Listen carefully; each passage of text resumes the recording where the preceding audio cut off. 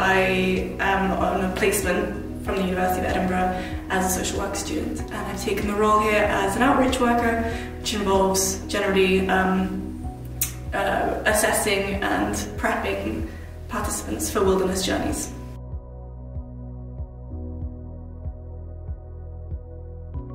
I also heard about it though because my dissertation is going to be on outdoor therapy and I obviously had heard about Venture Trust through that because it kind of does, you know, uses the outdoors to facilitate safe space and um, uh, and as a personal development course I think it's really beneficial. So I'd heard about it and I kind of tried to push the uni into placing me here even though you're not allowed to put preferences down but it was so relevant to my dissertation that I was very very pleased to get placed here.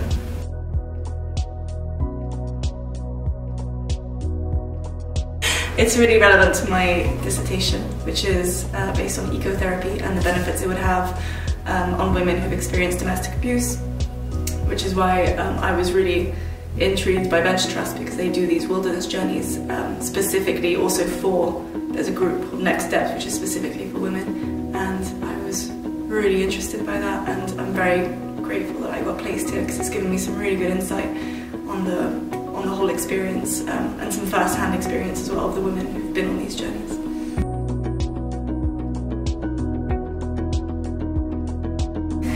So um, you get a lot of independence at VT, so you kind of make your own schedules, you're given a caseload and then you can, you know, you contact your participants on your caseload and you arrange to meet them as is most suitable for both of you. So you kind of just create your own schedule, which has been really good and it's given me a lot of flexibility around university um, and I've enjoyed the independence uh, that I've had.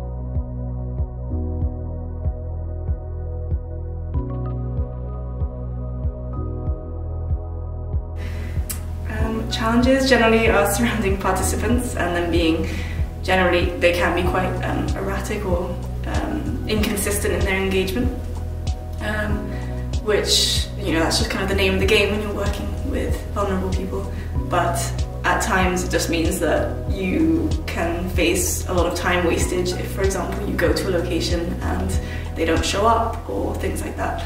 Um, but which is why it's so good to have such a flexible calendar because you can try and accommodate for that uh, as best you can.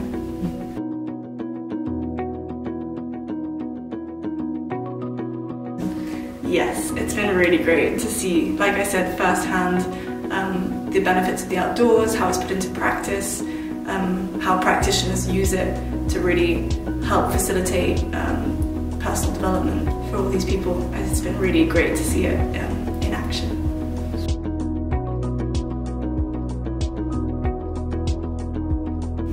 Staff gathering was great. It was so good to see just like how many people it takes behind the scenes to make these wilderness journeys happen. Um, you know, in terms of funding and um, organising the field team, the outreach workers, it was good to see the scale of it. You know, there's a lot more staff than I'd anticipated. And as an outreach worker, you know, you're out meeting participants and it's so easy to just not see anyone for days on end um, in terms of colleagues. So yeah, I really enjoyed that process of seeing um, the entire organisation in one location. That was great.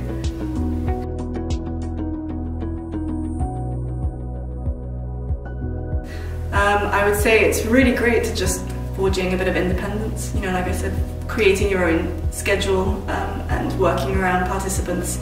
Um, it, it's just a really good learning curve actually, and the flexibility that it gives you to manage your own workload is, I don't know, it was really helpful for me actually uh, to see what it's like in practice. So you'd recommend it? yes, I would definitely recommend it.